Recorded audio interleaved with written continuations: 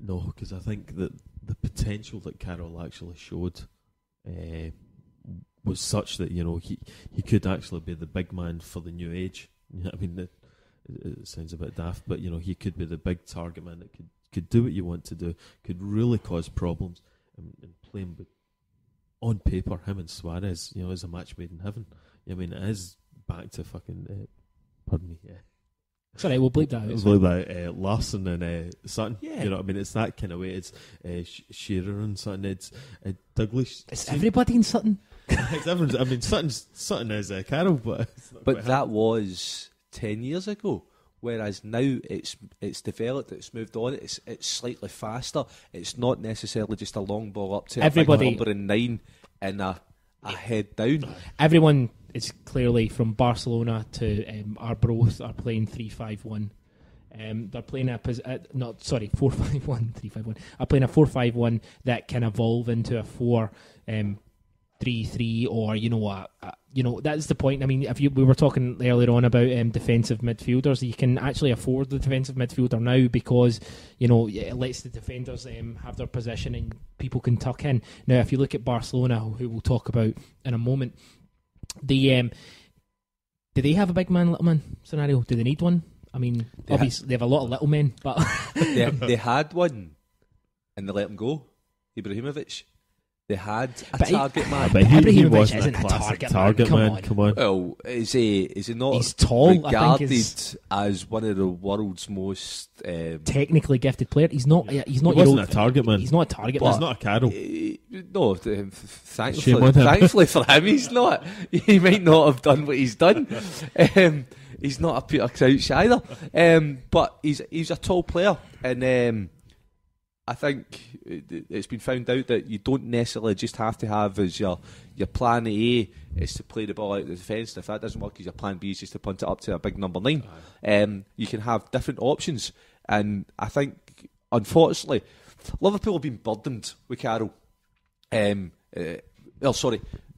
Liverpool have been burdened with Carroll's price tag of thirty-five million pound. Because if Carroll was bought for five million or for ten million or something like He's a bargain. the the Yeah. the, the, decision, the the conversations aren't as as um, uh, they, they don't go on as long as that. Two two point three for Van Persie. You said it yourself Yeah. as a teenager, so you know five million quid. It's fine. Dermot. I mean, I can't understand why uh, Carroll's price tag went to what it was. I mean, I, I don't think anyone, could, I don't think Newcastle could believe that the bid came in.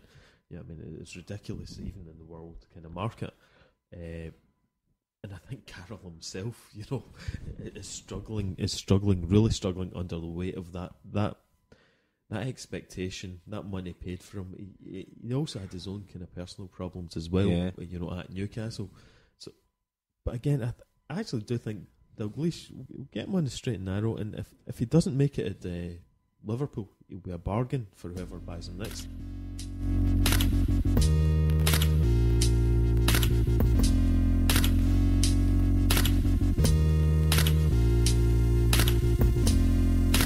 Recently, um, the 90 Minute Cynic writers, myself, Kevin, and Dermot, um, with also uh, Kieran and DJ, we've been talking about um, goals and um, Xavi.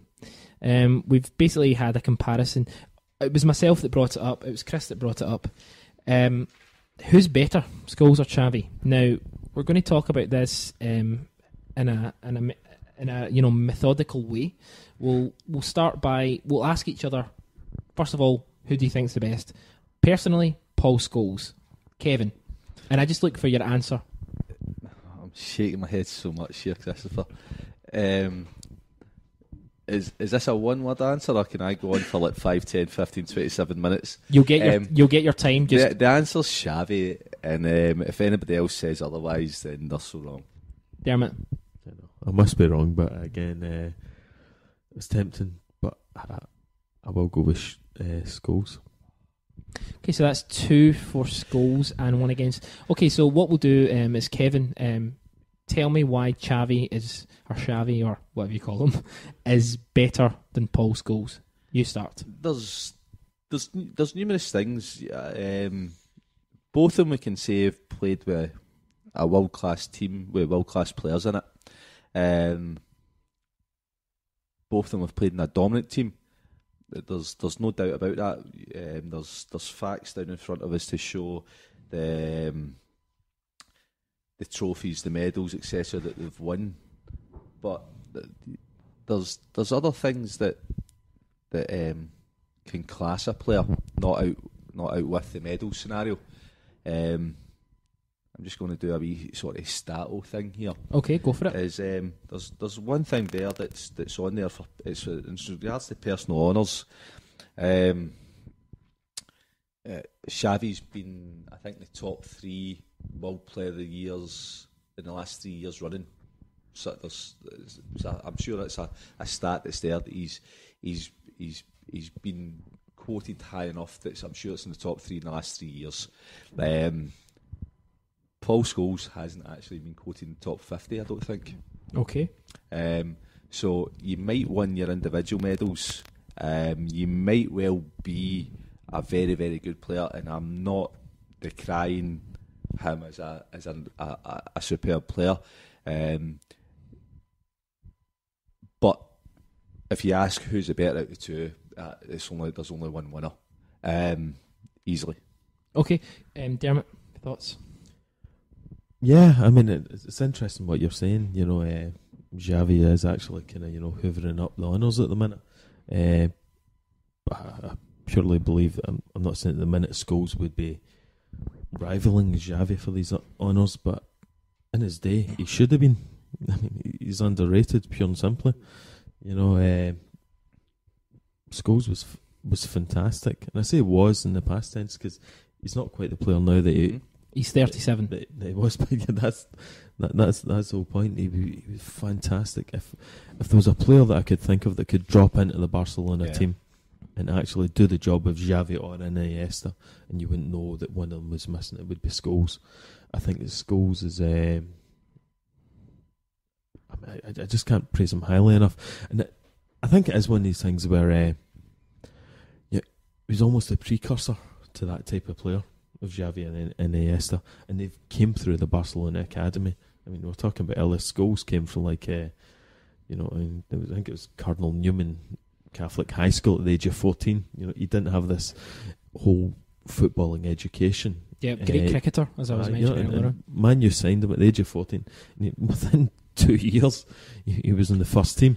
You know, and it, it- his potential was undoubted, but not just his potential, but his ability to play in what was to become the modern kind of tiki taka. I think that's what they call the Barcelona Yeah. way. The con- the continuity player.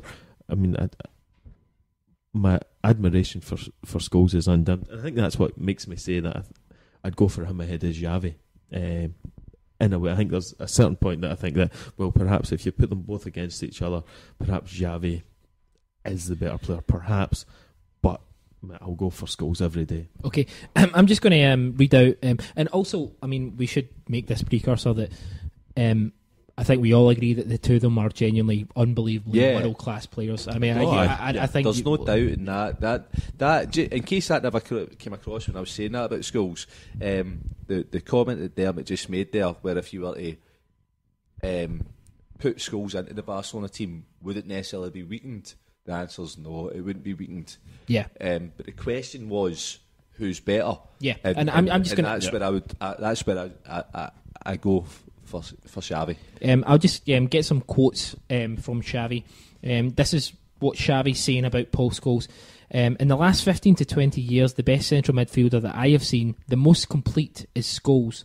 I have spoken with Xabi Alonso about this many times. Scholes is a spectacular player who has everything. He can play the final pass, he can score, he is strong, he never gets knocked off the ball, and he doesn't give possession away. If he had been Spanish, then maybe he would have been valued more. Now, they both. Okay, what you want to say? They asked Scholes for an interview, but he declined. Um, the point I was going to make was um, they asked Scholes about Shabby, and this this is genuine. Um, it was on the, Sc- the Guardian website, and Scholes says, "Who the f is Shabby?" um, no, obviously. Um, thinking. Now that that that Xavi basically saying obviously how how good he thinks Paul Scholes is. You know, I've heard Zidane talk about how good. You know, Scholes is one of those players who. There's a lot of a lot of midfielders, a lot of you know attacking players. You know, who's your best player? inevitably Scholes, and it's even now it still kind of brings up a Paul Scholes, you know. But that Manchester United team that got to that final, um, that you know they ultimately won it. I mean, they were absolutely dominated by Leverkusen, um, Bayer, Bayer Leverkusen, Bayern Munich, um, in the 1999 final.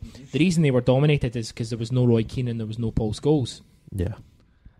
Uh, you can uh, the argument could be who who was the more driving force to get into the final though was it Scholes or was it Keane because everybody comments on the so Juventus semi final Yeah. game Yeah. isn't it that, Keane. that's been commented on as been Keane, Keane's best game ever not just in a Man U shirt but ever so is, is was the driving force or sorry was the missing driving force Keane or was it Scholes Well, Scholes, Scholes was a top scorer for Manchester United in the Champions League that season, so Yeah. I think it was probably Scholes. or who I'm only, like I'm being facetious. the point is they, they obviously missed both. Oh Yeah. yeah. without a shadow of a doubt. Um, it, look, it, it, it's one of those ones you can you can go around and around and around. Uh, they're both fantastic. They're both great. I think every club would love to have a, a player like that in their team. Um, and they only come around once every now and then. And it, but it's great to see it. It's actually it makes football a hell of a lot more enjoyable when you see players like that. Absolutely. Um, I mean, if you look at um, kind of you know looking over, you know, we're not going to judge a, a, a, a, a, these players on statistics, um, but Scholes has won Le Tournoi. Dermot, I, know, well, I was, I was going to come on to that. I mean, Scholes' uh, record for his country. I mean, Scho- I think Scholes played his heart out for England, and uh, again, he, he says he regrets not coming back for Capello, but he wasn't given enough time uh, Yeah. when he was asked to come back. but um, Capello also sorry to interrupt, but Yeah. Capello um, didn't approach him personally. Yeah, I know. I mean, I, th- I think Scholes. It's a bit of a joke, isn't it? Yeah, no, I think he would have expected uh, a bit of respect. Uh, I mean, Scholes walked away because Scholes knows where he could play, knows what he could do, and actually was being uh, jerked about by England. Okay. What's the difference between Paul Scholes and Paul Robinson? And I'm going to go to Kevin. Um, respect for the country, but uh, Paul Scholes, I don't. Th- Paul Robinson is. Uh, Paul Scholes had poorer players playing ahead of him, Yeah. and he got to the point where he went, "I'm not going to do this anymore." But, uh, Paul Robinson turned his back in a country when he wasn't the best player in his position, and that's what he spat the dummy out with. Yeah. Um, Paul Scholes, again, uh, we'll, I'll go back to it. Paul Scholes, uh, it's, it's, it's, it's a difficult conversation to have to, to be able to turn around and say to Paul Scholes, actually, I'm not picking you as a as, as my favourite player in your position because uh, we, we spoke about um, Steven Gerrard earlier on. I don't think you can actually class Paul Scholes and Steven Gerrard as the same type of player. Steven Gerrard's a, a far far more dynamic player. Paul Scholes' ability was was never pace, was never um, pushing a team forward. It was never trying to be the. I don't think Paul Scholes ever probably seen himself as the best player on the park. He just he just knew he was very very good, and what he done was to the best of his ability For the team. For the team, Aye. whereas you've got somebody maybe like Stevie Gerrard who knows that I am really really good, and if I play to my ability, the whole team will follow me, and it's a it's a different type of player. Um, I do see a hell of a lot of similarities between the two of them, though. That's the big thing about it. Um, you've got somebody like uh, it's been everybody knows that Scholes' um, shyness, his um, the the persona that he has, and a lot of people have, have spoke about Xavi's um, the the the socialist views that he has, and I think the two of them are maybe in the, of, of, are cut for the same cloth, and I think that's a brilliant thing when you see that in in your modern day football. Yeah, Dermot. I, I mean, with Scholes, I would say that for England, uh, you know, I mean, Scholes know, knows where he can play football. He knows where he played uh, day in day out for Man U. He knows where he could do a job. So when he gets asked to play somewhere else, he will.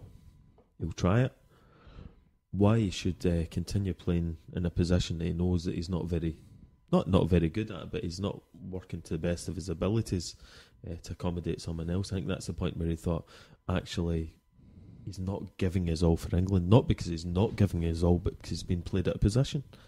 And uh, I think at that point it it was fair enough. That he says, actually, no, I'll take a step back, find someone else to do it.